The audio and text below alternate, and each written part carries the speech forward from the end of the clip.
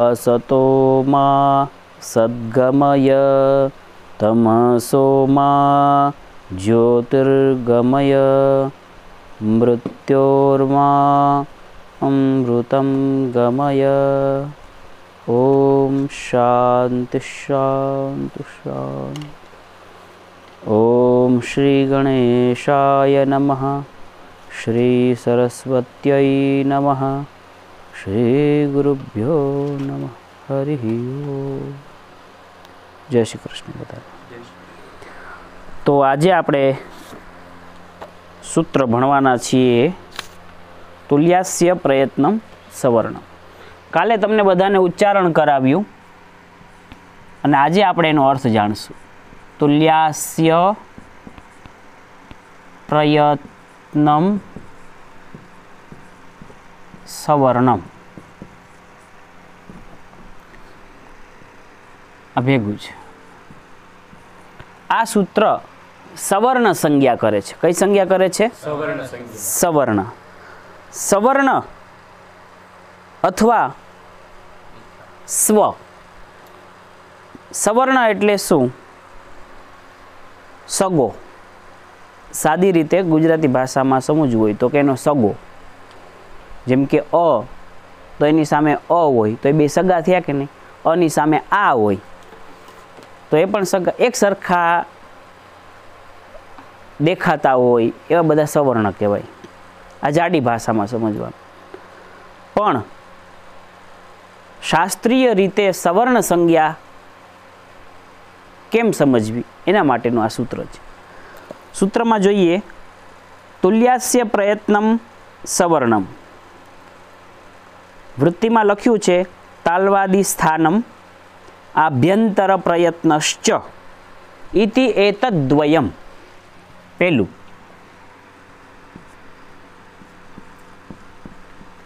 તાલવાદી સ્થાનમ. બીજું. આભ્યંતર પ્રયત્ન. બે વસ્તુ કીધી.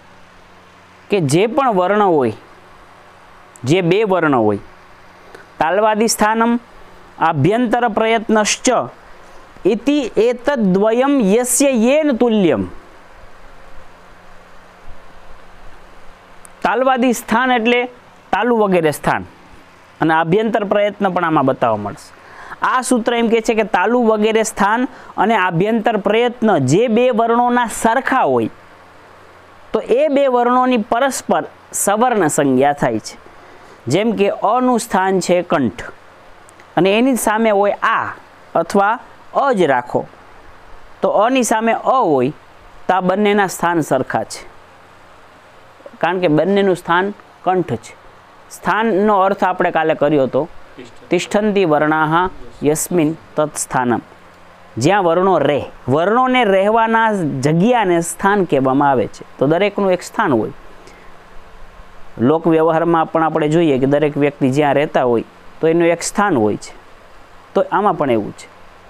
તો બે, જે બે વર્ણોના સ્થાન સરખા હોય અને પાછા આભ્યંતર પ્રયત્ન પણ સરખા હોય, તો એ બંને વર્ણોની પરસ્પર સવર્ણ સંજ્ઞા થાય. તો એ સવર્ણ સંજ્ઞા સમજવાને માટે આપણે આજે પહેલાં સ્થાન સમજવા જોશે, પ્રયત્ન સમજવા જોશે, પછી આપને ખબર પડશે કે સવર્ણ સંજ્ઞા કેની થાય સૂત્રનો અર્થ તમને સીધો સમજાય જાય. તો પહેલાં આપણે સ્થાન જોઈએ. તાલવાદી સ્થાન એટલે કે તાલુ વગેરે સ્થાન. તો, એક શ્લોક છે. અષ્ટૌ સ્થાનાની વર્ણાનામ. અષ્ટૌ સ્થાનાની वर्णानाम् उरः कण्ठः शिरस्तथा। अष्टौ स्थानानि वर्णानाम् उरः कण्ठः शिरस्तथा। जिह्वामूलं च दन्ताश्च नासिकौष्ठौ च तालु च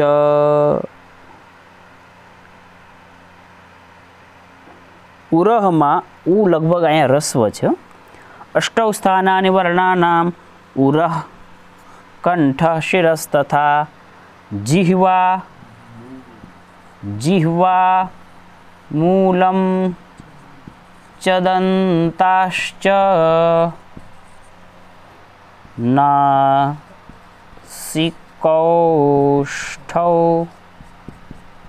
ચ તાલુ ચ છોકરાઓ, આપણે પહેલાં વર્ણોના સ્થાન સમજી લઈએ કે અષ્ટૌ સ્થાનાની વર્ણાનામ વર્ણના આઠ સ્થાન છે. કયા કયા?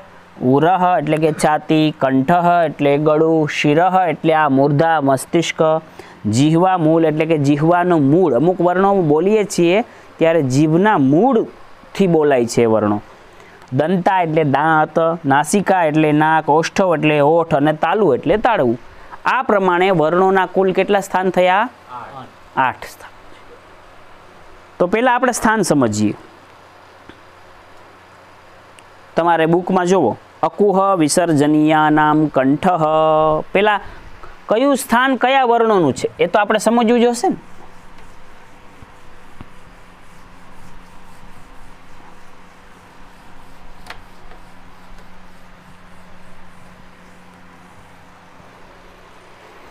અકુહ વિસર્જનીયાનામ કંઠ અકુહ વિસર્જનીયાનામ કંઠ અકુહ વિસર્જનીયાનામ કંઠ કંઠ સ્થાન કોનું છે એટલે કે કંઠમાં કયા કયા વર્ણો રહે છે? વર્ણોને રહેવાની જગ્યાને સ્થાન કહેવાય. તો જો, અકુહ, અ એટલે અવર્ણ. અકુ અ એટલે અવર્ણ. કુ એટલે, જો, પાંચ વર્ગ છે. કુ, ચુ, ટુ, તુ અને પુ. કુ, કવર્ગ, ચવર્ગ, ટવર્ગ, તવર્ગ, પવર્ગ. વર્ગ ત વર્ગ પ વર્ગ ક વર્ગમાં આવશે ક, ખ ગ, ઘ, ગ. ચુ એટલે ચ વર્ગમાં આવશે ચ, છ, જ, ઝ અને ય. ટુ વર્ગ, ટ વર્ગમાં આવશે ટ, ઠ, ડ, ઢ અને ણ. ત, થ, દ, ધ ન અને પ, ફ, બ ભ મ. તો આ વર્ગ કહેવાય. આ પાંચ વર્ગ છે. આ ક વર્ગ, ચ વર્ગ, ટ વર્ગ, ત વર્ગ ને પ વર્ગ. પણ એને આપણે વ્યાકરણ શાસ્ત્રમાં કુચુટતુપુ એમ કહીએ છીએ. કુચુટતુપ એવું શા માટે કહીએ છીએ? ઘણાને પ્રશ્ન થાય. કચટ તપજ કયો ને? હે? તો એક એ રહસ્ય છે. જે સમજો કે અ ઊણ, અ, ઈ ઊણ રૂલ રૂ. હવે એમાં જો, રસ્વ દીર્ઘ, અ, આ, ઈ ઈ, ઉ ઉ. આમ જોવા જઈએ આપણે, તો કુલ તેત્રીસ વ્યંજનો છે. અને ચૌદ સ્વરો માનવામાં આવે છે. અયુણ પ્રમાણે જોવા જઈએ તો અ, ઈ, ઉ, રૂલ, રૂ, એ ઐ ઓ ઓ, કેટલા થયા? નવ જ થયા. તો પણ ઘણા વિદ્વાનો એવું કહે છે કે નવ નહીં, ચૌદ સ્વરો છે. કેમ? તો કે દીર્ઘ લેવાના. દીર્ઘને પણ સ્વરમાં ગણવાના ને? એટલે અ, આ, ઈ ઈ, ઉ ઉ, રૂ રૂ લૃ લૃ એ, ઐ. હવે પાણીની વ્યાકરણમાં લૃ ને દીર્ઘ નથી માનતા. માને છે? નહીં. પણ અન્ય વૈયાકરણો છે એ લૃને પણ દીર્ઘ માને છે. તો ચૌદ સ્વરો થયા. તો દીર્ઘથી ગણતરી કરો. અ આ અ આ ઈ ઈ. અને આવું કેટલામો થયો? પાંચમો. થયો ને? આ એક બે ત્રણ ચાર ને પાંચ. તો કુમાં ઉ છે ને એ પાંચ સંખ્યાને બતાવે છે. કુમાં ઉ શું ને બતાવે છે? પાંચ. સંખ્યાને. એટલે ભાઈ કુ એટલે પાંચ કુ એટલે ક વર્ગ. તો કેટલા એમાં છે? પાંચ. એ ખબર કેમ પડી? તો ઉ ના કારણે. કારણ કે ઉ એ પાંચમો છે. ખ્યાલ આવ્યો? અ આ ઈ ઈ ઉ. એટલે કૂચું ટૂતું પુ. હવે આમાં જોઈએ અકુહ વિસર્જનીયા નામ કંઠ. તો કે અવર્ણ પછી કુ એટલે? કવર્ગ હ. અને વિસર્જનીય એટલે કે વિસર્ગ. આવા બે ટપકા જે પાછળ હોય. આનું સ્થાન કયું છે? કંઠ. કંઠ એટલે આ બધા ગળામાંથી બોલાય. અ, ક ક, ગ ઘ હ. અકુહ વિસર્જનીય. તો આ અકુહ વિસર્જનીય નામ કંઠ એટલે કે અવર્ણ, કવર્ગ, હ. અને વિસર્ગનું સ્થાન કયું છે? કંઠ છે. એ ગળામાંથી બોલે છે. બીજું છે ઈચુ યશા નામ તાલુ. આ પહેલી વાત થઈ. બીજું આવ્યા. ઈચુ યશા નામ તાલુ. કે છે ઈ એટલે ઈ વર્ણ. ઈ એટલે ઈ વર્ણ. ચુ એટલે ચ વર્ગ. ચ વર્ગમાં કેટલા સામે જોઈ લેવાના? પાંચ. ય અને શ એટલે મીંડાવાળો શ. એનું સ્થાન કયું છે? તાલુ. ગુજરાતીમાં કે તાળવું. જેમ કે ઈ ઈ, આપણે એમ બોલીએ, ઈ. ઈ બોલો એટલે તમારી જીભ છે ને જો દાંતની ઉપર જે તાળવું છે ને, આ કરે એટલે આમ ગદગદિયા થાય છે. આ તાળવામાં, એમાં છે, હે ને? ઈ. પછી ચુ, ચ, છ, જ જ, ય. તો જો, દાંતની ઉપર તાળવું છે, ત્યાં તમારી જીભ અડશે, ત્યારે જ તમે ચ, છ, જ જ બોલશો. માટે ચ વર્ગનું સ્થાન પણ કયું થયું? તાલુ. તમારી જીભ નકર ત્યાં અડાડ્યા વગર બોલો ચ છ જ જ જીભ નીચે રાખો. એ, હે હે નહીં બોલાય.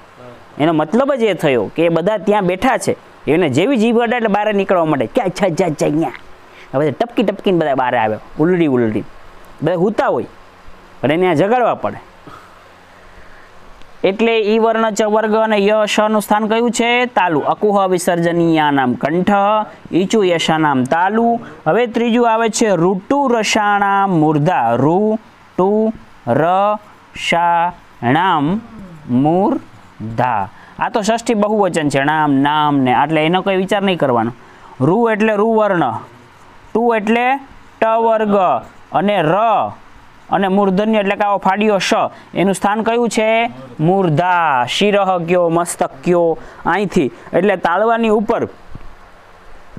તાળવાની ઉપરની જે છત છે ને, છત, એ છતમાં તમારે જીભ અડવી જોઈએ. રૂ, રે, રૂ. પછી ટવર્ગ. વર્ગ ટ, ઠ તાલવા ઉપર પણ જીભ અડે.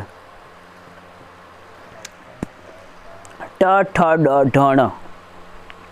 ઋતુ રસાણ ર ર ર શ ઋષિ ઋષિ, ર, ટ, ઠ, ડ, ઢ, ણ, ઋષિ. તો તાળવાની ઉપર જે છે એને મૂર્ધા કહેવાય. આનું સેન્ટ્રલ અહીંયા આમ હળીઓ નાખ્યો હોય તો ક્યાં નીકળે? અહીંયા નીકળે બસ એ મૂર્ધા. તો એ મસ્તિષ્કમાંથી બોલાય છે રૂ એટલે ઋતુ રસાણા મૂર્ધા એટલે રૂવર્ણ ટવર્ગ વર્ગ અને ર અને શનું સ્થાન શું છે? મૂર્ધા. તો અકુહ વિસર્જનીયાનામ કંઠ ઇચુ યશાનામ તાલુ ઋતુ રસાણામ મૂર્ધા ઋતુ લસાનામ દંતા. હવે આપણે આવીએ સ્થાન દંતા એટલે કે દાંત. કયું સ્થાન આવ્યા? દાંત.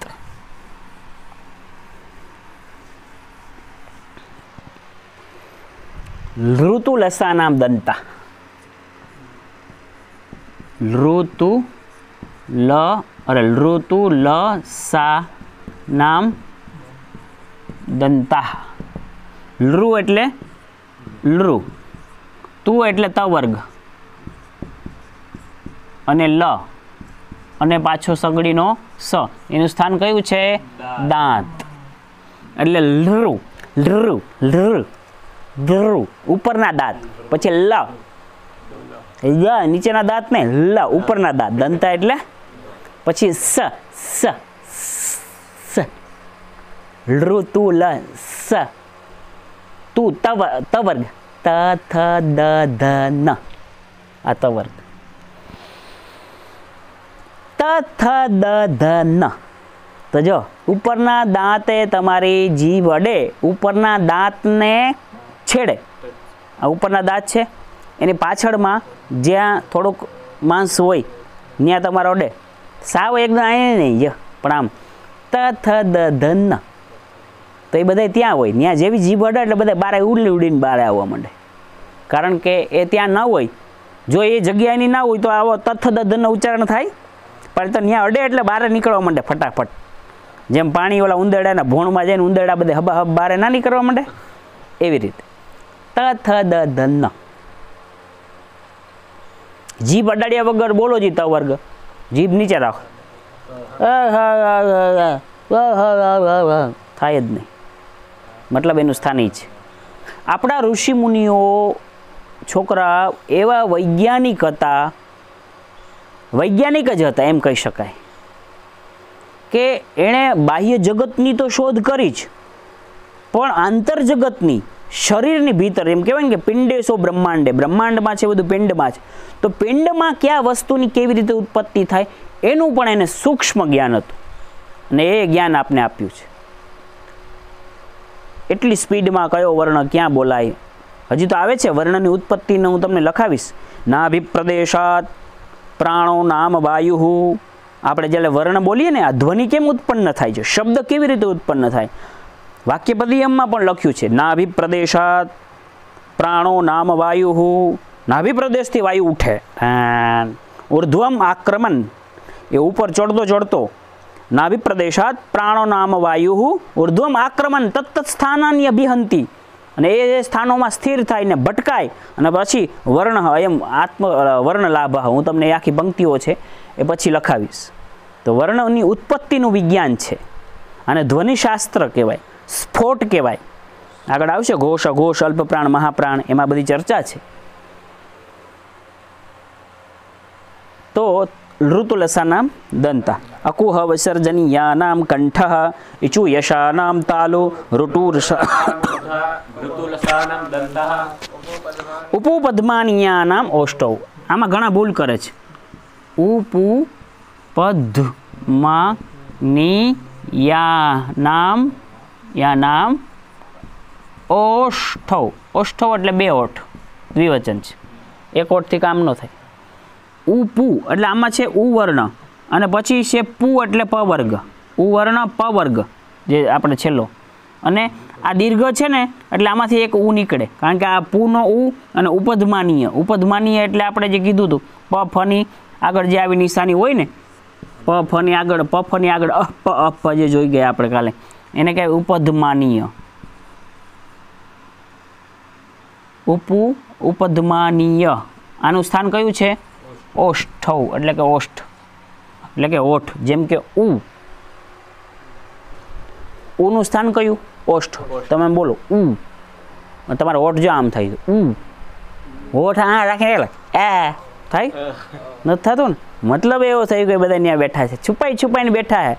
આપણે પકડી પકડીને કાઢવાના છે. ઉ. પછી પ. તો બે ઓઠમાં જે પ, ફ, બ ભ મ. પ, ફ, બ ભ મ. તો પ વર્ગનું સ્થાન કયું થયું? ઓષ્ઠ. ઓષ્ઠ ને અડકાળ્યા વગર, બોલો જી. આહા હા હા હા હા હા બોલાય જ નહીં. તો કેવું બધા પોતપોતાની જગ્યાએ આરામ કરતા જ હોય છે. આ તો માણસને બોલવાની આળસ હોય બાકી બધા આરામ કરતા જ હોય. પફ બમાં એટલે ઉપુ પદ્માની અને ઉપદમાનીય. એટલે પ અને ફર છે ને એ પ ફની આગળ આવે છે આ, આવી નિશાની. એટલે એને કીધા ઓષ્ઠ. કારણ કે એને અયોગ વાહ કહેવાય. અયોગ વાહ વિજ્ઞેયા આશ્રય સ્થાન ભાગિન. એ સમજાવીશ તમને. તો ઉપપદ્માની આ નામ ઓષ્ઠ હવે આવ્યું. યમંગ યમંગણ ના નામ નાસિકા ચ, ય, મ ગ ણ ના નામ નાસિકા ચ. હવે જો, આ ય છે, એ કેમાં આવી ગયો તમારે? અહીંયા આવ્યું.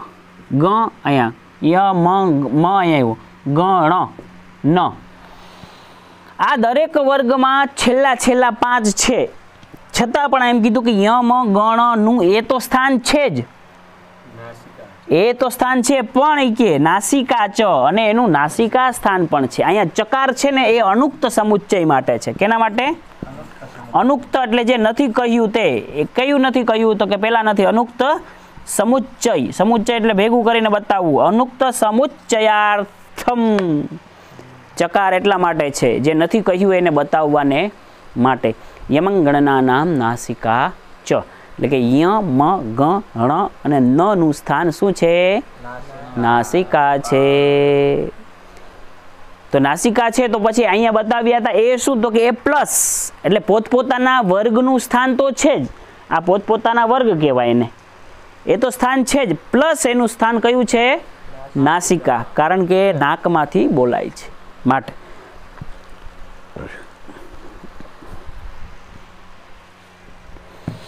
યમંગણના નામ નાસિકા ચ બોલી અકુહ વિસર્જનીયાનામ કંઠ ઈચુયશાનામ તાલુ ઋતુરસાણામ મૂર્ધા ઋતુલસાનામ દંતા ઉપપદ્માનીયાનામ ઓષ્ઠૌ ના નામ હવે આવ્યું એ દૈતોહો કંઠ તાલુ. કે છે ભાઈ, એ દૈતોહો એ દૈતોહો. આમાં શું છે? એદ અને ઐતોહો, આમ છે. દ્વિવચન છે. આ દ અને ત તો એ માત્ર ઉચ્ચારણ માટે છે. કહેવા માગે છે એ દૈતોહો કંઠ. શું છે એ દૈતોહો કંઠ તાલુ. એ છે એ. તો એનું સ્થાન કયું કીધું? કંઠ તાલુ. એટલે આનું સ્થાન કંઠ તાલુ. અને એ અઈ અઈનું સ્થાન પણ કયું? કંઠ તાલુ. આમાં બે થયા. કારણ કે અ પ્લસ ઈ અનું સ્થાન કંઠ. ઈનું સ્થાન તાલુ. એટલે અ પ્લસ ઈ મળીને ગુણ થઈને એ બને એટલા માટે કંઠ તાલુ છે. ખબર પડી? એવી રીતે અઈ એનું પણ કંઠ તાલુ. તો અ પ્લસ એ આનું કંઠ આનું તાલુ. આ મળીને શું થયું? અઈ. એ દૈતો હો કંઠ તાલુ. એવી રીતે ઓ દૌતો હો કંઠોષ્ઠમ. ઓ દૌતો હો ઓ દૌતો હો કંઠોષ ઠૌષ્ઠમ જેમ કે ઓ અને ઔ. આ બેનું સ્થાન કયું સમજવાનું? કંઠ. અને ઓષ્ઠ. આમાં પણ એવી રીતે અ અને ઉ મળીને ઓ થયો છે હા? તો એ ઐ ઓ અને ઔ એનું થોડુંક સ્થાન એક વધારે પણ આપ્યું. કારણ કે સંધિ થઈ બે વર્ણ ભેગા થાય ને એને સંધ્યક્ષર કહેવાય. શું કહેવાય ને સંધૌ સતી અક્ષરમ સંધ્યક્ષરમ. તો એ ઐ ઓ ઔ સંધ્યક્ષરમ. સિદ્ધેમ શબ્દાનું શાસન છે વ્યાકરણ. એમાં એને સંજ્ઞા આપવામાં આવી છે. એ ઐ ઓ ઔ સંધ્યક્ષરમ. એને કઈ સંજ્ઞા આપવામાં આવી છે? સંધ્યક્ષરની સંજ્ઞા આપવામાં પછી આપ્યું વકારસ્ય દંતોષ્ઠમ. વનું સ્થાન કયું બતાવ્યું? દંતોષ્ઠ. વકારસ્ય એટલે વ બોલો વ વ આમ બોલીએ વ. તો વ વ માં જો આ ઓષ્ઠ અડે અને ઉપરના દાંત. તો વકારસ્ય દંત એટલે દાંત, ઓષ્ઠ. વકારસ્ય દંતોષ્ઠમ. એટલે વનું સ્થાન દંતો અને ઓષ્ઠ થયું. જીહવા મૂલી હશે જીહવા મૂલમ. જીહવા મૂલી એટલે આપણે કીધું હતું ક અને ખ. એની આગળ જે આ નિશાની આવે એને આપણે જીહવા મૂલી કહેવાય. પ અને ફની આગળ જે નિશાની આવે એને આપણે શું કહીએ? ઉપદમાનીય કહીએ. બરાબર છે? તો ક ખ અને પફની આગળ જે નિશાની આવે છે એને અનુક્રમે જીહવા મૂલીય અને ઉપદમાનીય આપણે કહીએ છીએ. એટલે લખ્યું જીહવા મૂલીયસ્ય જીહવા મૂલમ. જીહવા મૂલીયનું સ્થાન શું છે? જીહવા નાસિકા અનુસ્વારસ્ય. અને અનુસ્વાર બોલીએ જે મીંડું માથે. એનું સ્થાન પણ કયું છે? નાસિકા. તો આ પ્રમાણે તમારે અહીં સ્થાનો પૂરા થયા છે. તમે સૂત્ર ભણી રહ્યા છો તુલ્યાસ્ય પ્રયત્નમ સવર્ણમ. કે જેનું સ્થાન અને પ્રયત્ન સરખા હોય એવા બે વર્ણોની પરસ્પર સવર્ણ સંજ્ઞા થાય. તો આપણે તમે સ્થાન જોયા. હવે આપણે જોઈશું પ્રયત્ન. તો હવે પ્રયત્ન ચાલુ કરીએ. એમાં જો તમારી બુકમાં લખ્યું યત્નો દ્વિધા શું કીધું? યત્ન. યત્ન બે પ્રકારે છે. યત્નો દ્વિધા એટલે કે યત્ન. યત્ન બે પ્રકારે છે.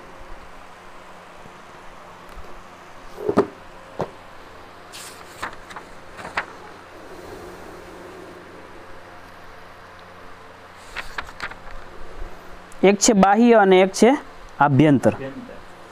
યત્ન બે પ્રકારે છે. યત્ન બે પ્રકારે. એક બાહ્ય અને એક છે આભ્યંતર. કયું છે? આભ્યંતર.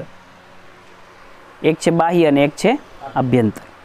આભ્યંતર એટલે વર્ણોનું ઉચ્ચારણ કરવા માટે પ્રયત્ન એટલે શું? વર્ણોનું ઉચ્ચારણ કરવા માટે વક્તાએ કરવો પડતો યત્ન. તો યત્ન બે પ્રકારે છે. એક બાહ્ય છે અને એક કેવો છે? આભ્યંતર પ્રયત્ન છે. પણ યત્નની વાત થઈ. પણ જ્યારે તમે પ્રયત્ન શબ્દ આવે, તો પ્રયત્ન શબ્દથી તમારે આભ્યંતર પ્રયત્ન જ ગ્રહણ કરવાના. પ્રયત્ન શબ્દ જ્યારે યુઝ કરવામાં આવે છે, કયો? ત્યારે તમારે પ્રયત્ન શબ્દથી શું લેવાનું? આભ્યંતર પ્રયત્ન જ લેવાના.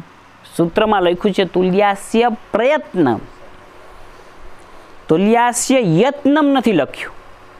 એટલા માટે ટીકામાં ડિવાઈડ કર્યું યત્નો દ્વિધા યત્ન બે પ્રકારે છે. એક બાહ્ય અને એક આભ્યંતર. એક બાહ્ય પ્રયત્ન છે અને એક તો પ્રયત્નની વાત આવે ત્યારે કયો લેવાનો? આભ્યંતર. કારણ કે પ્રાક્તન યત્ન પ્રયત્ન. પ્રયત્ન શબ્દનો વિગ્રહ લખવો હોય તો શું લખવાનું? પ્રાક્ત, પ્રાક્તન યત્ન પ્રયત્ન અથવા પ્રકૃષ્ટો યત્ન પ્રયત્ન. પ્રાક્તન યત્ન પ્રયત્ન. અથવા પ્રકૃષ્ટો યત્ન. પ્રયત્ન. હવે જો પ્રાક્તન પ્રયત્ન પ્રાક્તન યત્ન પ્રયત્ન કેમ કહેવાય છે? કારણ કે વર્ણની ઉત્પત્તિની પૂર્વે થાય છે. પ્રયત્ન આપણે કહીએ ને, તો પ્રાક્ત, પ્રાક્તન યત્ન પ્રયત્ન. પ્રાક્તન એટલે પહેલાં થતો. તો વર્ણ પેદા ન થયો હોય ને, એની પહેલાં જ યત્ન થાય ને મુખમાં. તમે વર્ણને ઉત્પન્ન કરવો છે મીન્સ તમારે વર્ણ બોલવા છે, તો વર્ણ બોલવા જ્યારે વર્ણની ઉત્પત્તિ થાય, એ પહેલાં, એ ઉત્પન્ન કરવા માટે મુખમાં જે યત્ન થાય ને, એ જે યત્ન થાય છે, પહેલો યત્ન થાય છે પ્રાક્તન યત્ન, એને શું કહેવાય? પ્રયત્ન. અથવા પ્રકૃષ્ટ યત્ન, પ્રયત્ન. એવો પણ શબ્દ વાપર્યો છે, કારણ કે વર્ણોની ઉત્પત્તિનું કારણ છે, એટલા માટે પ્રકૃષ્ટ. પ્રકૃષ્ટ યત્ન, પ્રયત્ન. એમ પણ એક કારણ બતાવ્યું છે.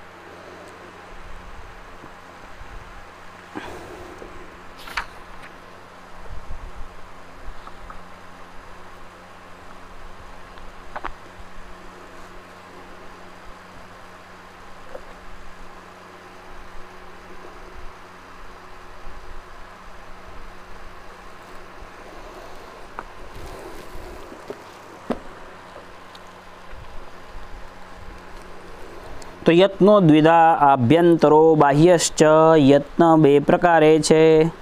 આભ્યંતર યત્ન અને બાહ્ય. પણ જ્યારે આભ્યંતરની વાત આવે ત્યારે પ્રયત્ન શબ્દ સમજવાનો. તો કે છે એ આભ્યંતર પ્રયત્ન આદ્ય આદ્ય એટલે કે જે આભ્યંતર જો યત્નો દ્વિધા યત્ન બે પ્રકાર. આભ્યંતર અને પછી કે છે આદ્ય એટલે કે પહેલો એમાંથી પહેલો કયો છે? તો કે આભ્યંતર પ્રયત્ન છે ને એ પંચધા. આભ્યંતર પ્રયત્ન ચાર પ્રકારે છે. પાંચ પ્રકારે. પંચધા એટલે પાંચ પ્રકાર. સ્પૃષ્ટ આભ્યંતર પ્રયત્ન કેટલા પ્રકારે છે? પાંચ પ્રકાર.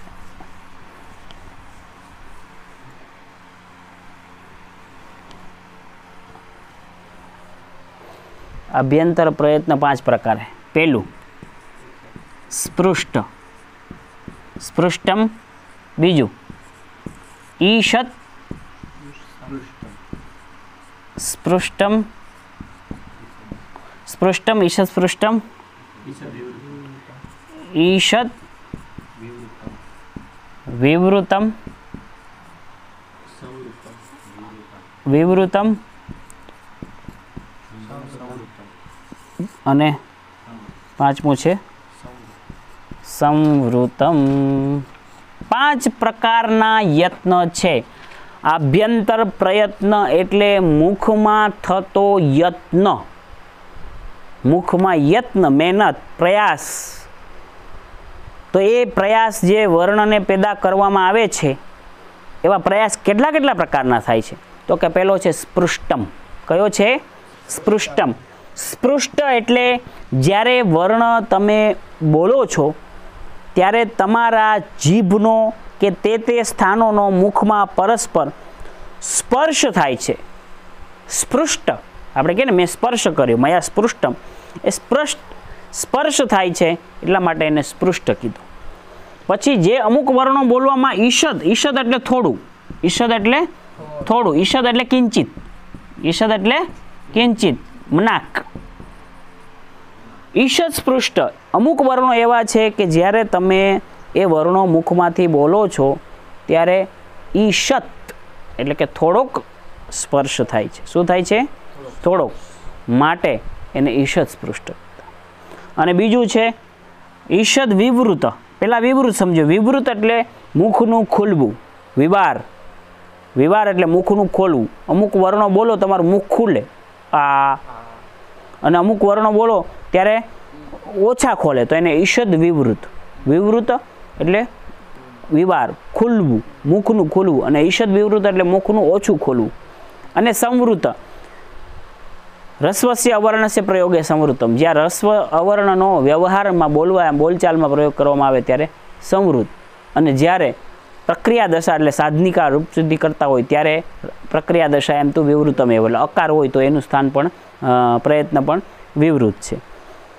આ પ્રયત્ન ખાસ સમજી લેવા. હવે આપણે એ તો જોયું કે આ સ્થાન કોના છે અને આ પ્રયત્ન કોના છે. સ્થાન તમને સમજાવ્યા, કંઠ, ઉરહ શિરહ, નાસિકા, ઓષ્ઠ અને દંતા વગેરે. તો તમને એમાં થયું કે આ બધા સ્થાન છે, પણ આ સ્થાન કોના કોના? એટલે તમને એ સમજાવવામાં આવ્યું કે અકુહ, વિસર્જન એમ કંઠ. એટલે અવર્ણ હ વિસર્ગનું સ્થાન કંઠ છે, આ વર્ણોનું સ્થાન આ છે, આ વર્ણોનું સ્થાન આ છે. એમ આ પ્રયત્નો જે છે પાંચે પાંચ, એ કયા કયા વર્ણોના છે? એ પ્રયત્નો આપણે કાલ નેક્સ્ટ પીરિયડમાં સમજશું કે આ સ્પૃષ્ટ ઈષદ પૃષ્ઠ અને વિવૃત ઈષદ, વિવૃત સંવૃત આ પ્રયત્નો કયા વર્ણોના છે? કે કયા વર્ણો બોલીએ છીએ ત્યારે આપણી નજર સમક્ષ એ સ્પૃષ્ટ થાય છે, ઈષદ સ્પૃષ્ટ થાય છે, વિવૃત થાય છે. ત્યાં સુધીમાં. મિલતે હે નેક્સ્ટ એપિસોડ